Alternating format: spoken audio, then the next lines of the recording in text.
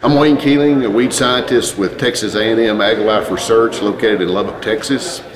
Uh, today we've been talking a little bit about uh, weed resistance in cotton. Uh, the problem was really first identified on the plains in 2011 when some fields were identified that had been sprayed with Roundup repeatedly and the weeds continued to, uh, to grow normally. Uh, in this past year I think more and more fields have been identified uh, with resistant pigweed problems. Um, I think the important thing is for people to realize this is a serious problem and try to address it early on here and not ignore it for a few more years and let it get worse. But there are some, some fairly straightforward uh, uh, ways to, to manage or delay resistance, and that is getting back to using a better mix of residual herbicides, uh, both pre-plant incorporated, pre-emergence, or post-emergence with Roundup, and coming up with a system that works for your farm uh, to utilize the other tools that are available.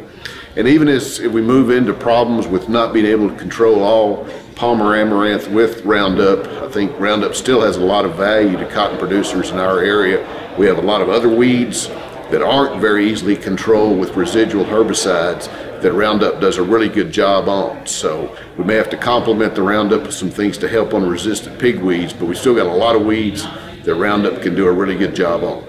I think the main thing is to recognize that there is a problem brewing out there uh, and not just think that I can ride the Roundup only system for another year or two, but uh, try to get ahead of the game there, get back to using the proper mix of residuals, uh, and try to avoid making the problem any worse than it already is.